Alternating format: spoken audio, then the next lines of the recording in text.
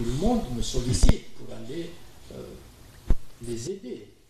Le Harrach, il ne faut pas oublier que moi j'étais joueur de cette équipe pendant deux années. Les meilleures années de Harrach, je les ai passées là-bas. Donc, euh, c'est un club que je connais. Et permettez-moi de vous dire que si le Harrach avait les moyens, ne serait-ce que 50% des moyens que possèdent les autres clubs, le Harrach aurait pu faire mal tout Mal. C'est ce qu'on dit. Il y a un potentiel extraordinaire dans cette équipe. malheureusement, je dis malheureusement, ils n'ont pas un sponsor solide D'envergure. pour les accompagner. C'est ce- Et je, et je crois que ça, c'est le rôle de l'État. Une ville comme Harrach, moi, je pense qu'il mérite encore plus de considération et plus de soutien. Et pourquoi Et on- ça, je- j'appuie sur ça. Harrach mérite d'être aidé.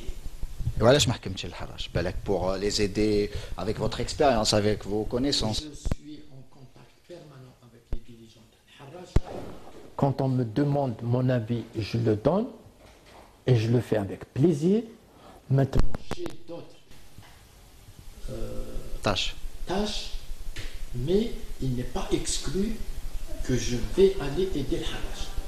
Et ça me fera énormément plaisir. Pas exclu, je comprends, on comprend que il y a possibilité de vous voir président peut-être dans les mois à venir.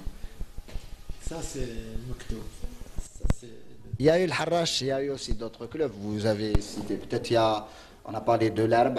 Est-ce que aussi il y a eu euh, moi, je, je vous dis 4 cinq clubs 4-5 qui m'ont demandé de- d'aller les aider. Mais pour le moment, Pour le moment, je suis là, je suis actionnaire à l'USMA et je suis le président du club sportif amateur, jusqu'à preuve du contraire. Donc, est-ce que sur le plan, sur le- voilà, sur le plan réglementaire, Voilà, sur le plan réglementaire, je ne peux pas être actionnaire à l'USMA Et être actionnaire dans un autre club et être président du CSA. d'accord. Déjà, quand vous êtes euh, président du CSA, vous n'avez pas le droit d'avoir euh, une place, par exemple, au conseil d'administration en tant que décideur. D'accord. Vous, ne- vous ne pouvez pas, Pas de- avoir les deux chapeaux. Ou bien vous êtes au CSA, ou bien vous êtes euh, dans le conseil d'administration. Vous voyez Mhm. Donc il y, a, tout ça, mais je pense que d'ici la fin de l'année, Inch'Allah, Mhm. tout sera plus clair. Euh, L'USMA, voilà, on va, dernier chapeau, l'USMA, il y a quelques jours de, de cette demi-finale retour, il y a le championnat aussi qui a débuté assez fort aussi. Qui fait chauffe la saison à l'USMA Moi, euh, honnêtement, je vois que l'année 2015-2016, c'est- une année aussi. Que ce soit en Champions League, que ce soit en championnat et Coupe d'Algérie. Pourquoi? Pour la simple raison que nous avons un effectif très riche, l'équipe elle est bien prise en charge, donc il n'y a pas de raison à ce que l'USMA ne cartonne pas cette année. Il n'y a pas de raison. Il n'y a pas de raison. Les, les, les frères Haddad ont mis le paquet. Je crois qu'il est temps qu'ils récoltent un peu les fruits de leur. euh, Est-ce que c'est. Je vais pas dire un petit peu, un peu de jalousie, mais est-ce que ça vous fait pas un peu mal de voir peut-être le fruit de votre labeur, dur labeur durant plusieurs saisons? On voit que peut-être l'USM Alger maintenant avec les frères Haddad peut-être va gagner la Coupe d'Afrique. Est-ce que il n'y a pas c'est un peu. Je crois le chouïa si on peut se permettre. Non, non, pas du tout. Pas du tout, parce que l'USMA restera toujours l'USMA. Et nous, les hommes, nous sommes là. Moi, j'ai eu l'honneur de gérer le club. Mais avant que j'arrive à il y avait, avait d'autres- personnes. Donc chacun écrit sa page d'histoire. Moi, j'ai écrit la mienne. Maintenant, celui qui est venu après, il va écrire euh, la sienne, et ainsi de suite. Vous savez, euh, les records, ils sont faits pour être battus. Euh, vous, vous étiez un éternel, disons, il y avait un éternel, euh, l'éternel guéguerre entre vous et, le président Mohamed Cherif Hannachi. Euh, Quand vous voyez actuellement toute cette pression exercée sur lui, quand on voit la GSK actuellement qui, qui un petit peu souffre euh, depuis quelques saisons, qu'est-ce que ça vous inspire? Moi, ça me fait mal, ça me fait mal, ça me fait mal de voir un grand club comme la GSK dans cette situation. Euh, Monsieur Hinachi, ça a été un grand président, il faut lui rendre hommage. Il a su quand même gérer son club pendant des années, lui, donner, il lui a donné un standing extraordinaire. c'est pas parce que ça n'a pas marché une année ou deux années qu'on va remettre tout ça en cause. Je crois que c'est pas normal. C'est pas normal. On ne peut pas réussir tout le temps. Moi, ce que je souhaite de tout mon cœur, c'est que ce grand club retrouve la sérénité, la tranquillité, pour encore redémarrer, pour redonner encore le, prestige. Est-ce que vous êtes en contact avec eux? Est-ce que ça vous arrive de Oui, on arrive de se téléphoner, de, s'échanger d'avis, etc. Et qu'est-ce qu'il en pense? Est-ce que, que, vous lui dites, par exemple, de suivre votre, votre, exemple, de, de, un petit peu de s'intéresser pour se retirer un petit peu Non, je ne peux pas lui dire de se retirer parce que je ne connais pas le fond du problème, réellement, mhm. pourquoi euh, il veut partir ou il ne veut pas partir. Ça, je n'ai pas lui dire. Pas je lui dire. Moi, ce que je soutiens lui, je le soutiens. Je soutiens le club. Si je le fais avec plaisir et avec sincérité. Avec sincérité. Qui aurait cru, président, que M. Alep euh, parlerait du bien du, président Naji après toute. Euh, peut-être deux, trois saisons où il y avait vraiment, les relations étaient très, très tendues. oui, c'est vrai qu'il y avait des relations tendues, mais c'est resté dans un cadre sportif. Euh, M. Hinachi, c'est quelqu'un qui défendait euh, très bien son cœur. Comme vous. quand moi je suis arrivé, il fallait que je défende le mien. Donc on ne peut pas être sur le même pied d'égalité, peut-être, on n'a mhm. pas la même vision des choses, mais par la suite, on, on s'est compris. Dit basta, il faut qu'on arrête. C'est ce qui s'est passé. Et après, c'est dommage.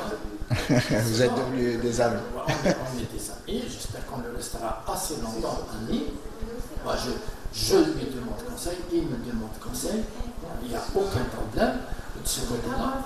Et honnêtement, honnêtement, M. Hinachi beaucoup de choses pour cette quand j'étais président du forum, quand il y avait des décisions à prendre dans l'intérêt du football, M. Hinachan était toujours président, était toujours le premier à soutenir la délégation pour l'intérêt du football.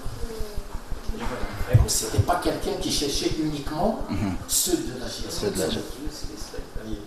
Euh, je me rappelle, là on parlait tout à l'heure de il y a un cas, le cas de Mesaïr, on n'en a pas parlé. Vous étiez président de l'USMAC. Est-ce que c'était le même cas ou bien qu'est-ce qui s'est réellement passé? Parce qu'on dit que c'était aussi euh, question de. Voilà, on va pas. Peut-être c'était des stupéfiants. Est-ce que c'est réellement le cas? Honnêtement, euh, honnêtement jusqu'à d'aujourd'hui, on ne sait pas pour quelle raison, mais ailleurs a été évincé dans le On vous a pas dit en tant que président du SMA Oui, on m'a dit comme ça. Comment ça, comme ça Comme ça, un problème de, dopage. Mhm. Mais on ne sait pas. Quoi Avec quelle substance en tant, en tant, que président, vous n'êtes On ne vous le dit pas. On ne vous montre pas les échantillons. On ne vous montre pas le compte rendu. C'est entre la, la CAF et la fédération. On me dit heures avant le match, parce que j'étais à Tunis. À Tunis, exactement. J'étais là-bas. On me dit, mais ça, ne, va pas jouer. Pourquoi il ne va pas jouer? C'était le titulaire euh, de l'équipe nationale. C'était le numéro 1. On m'a dit, voilà, voilà, voilà. Je ne peux rien faire. Vous avez une discussion avec lui après ça Oui, bien sûr que j'ai eu une discussion avec le joueur, j'ai eu une discussion avec le médecin de l'équipe nationale, j'ai eu une discussion avec les responsables de la fédération et tout. Et ils m'ont dit que voilà, il y a des traces de dopage dans, dans ces analyses. Voilà, c'est tout. C'est tout. Mais ça s'est passé en équipe nationale. Pas, pas au sein du club. Pas au sein du club. Ça s'est passé au niveau l'équipe nationale. Après un stage groupé de l'équipe nationale. Ça a le mérite d'être clair.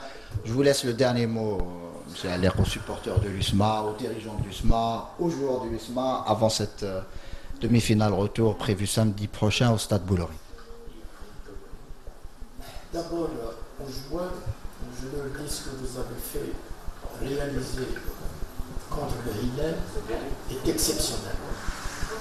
Dans la mesure où l'état psychologique du groupe était touché, ils ont su réagir de cette façon-là. Je leur dis chapeau. Maintenant, le plus dur reste à faire. Pourquoi quoi le plus dur reste à faire? D'abord, il reste une manche avec le Hillel. Et puis, il y a deux gros morceaux qui nous attendent. Sachant que la finale retour, ce sera à l'extérieur. À l'extérieur, donc il y a un gros match qui nous attend, Inch'Allah, la finale. Ce n'est pas gagné.